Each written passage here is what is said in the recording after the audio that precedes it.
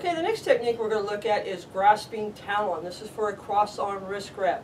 There's an A and a B variation. The B is just a continuation of A. So on the A variation, you're going to stand pretty much in a neutral stance. We come up and grab, we pin. We bring our right hand straight up so that our palm is looking at us, just like we're looking in a mirror. And then we're going to knife edge it. We should have a Z-lock here, just like that. If you need to further explanation on this, you can refer back to the start of the video on this style of lock. Also, you can look at our Jiu-Jitsu video for further information as well. So from here, we just pull straight down and knee. Okay, again, hand comes up. Palm right in front of you, just like a mirror. Look at it. Push in, not too far. You don't want it up against their chest. You want it just like this. Level, elbow level with their shoulder, and this in a Z mode. You don't want it bent or out, just like this. So we're here, in, and down. Okay, again, pin, palm, push, down. In the B version, same thing, and just we're going to take them into a standing scissor lock. So there again, we get them down with A, and then we're going to step down. Right, left hand takes control of the arm. Right heel palms underneath the elbow as we shove it up into their face and around so that we're facing about the 730 position and then drop into a standing scissor lock, which means your knee is on their shoulder.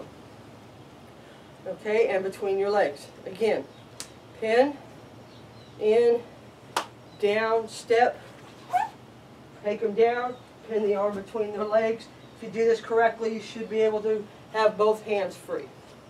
Okay, from this angle on A, up, in, and down. That's all there is to it. Again, A, in, down. B, we take them into a standing scissor lock. Here, down, so we're going to step down, heel palm the elbow into their face, pivot around, and drop the knee into the shoulder. Okay, again on B, pin, down, step, heel palm up and over, and drop the knee into the shoulder.